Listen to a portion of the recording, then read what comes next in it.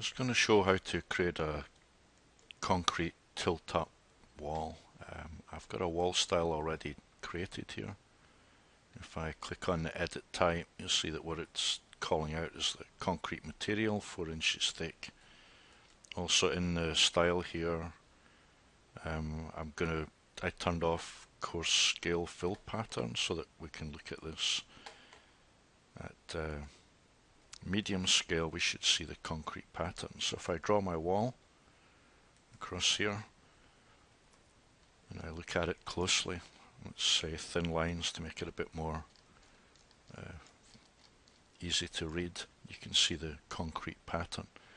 Uh, to turn it into uh, individual panels, I pick the wall and I say create parts I can then divide up my wall to make the parts and I can use many options. One is that I can I could just draw a sketch you know where I want to be cutting through the wall. Um, you can specify what the uh, look of the gap is. In other words, uh, it's a profile file and you could create your own. I'm going to pick the angled step and say that I want a gap that's about um, say a quarter of an inch.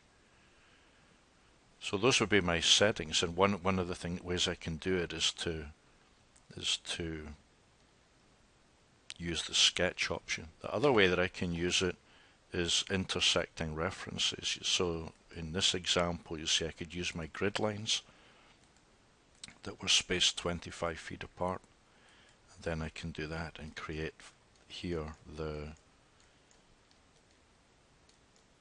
actual panels within the wall itself. So that's a live way though, so be, be aware that if you change the grid spacing you'd actually be changing the division of the the uh, the size of the panel itself. Oh, so let me stop right there.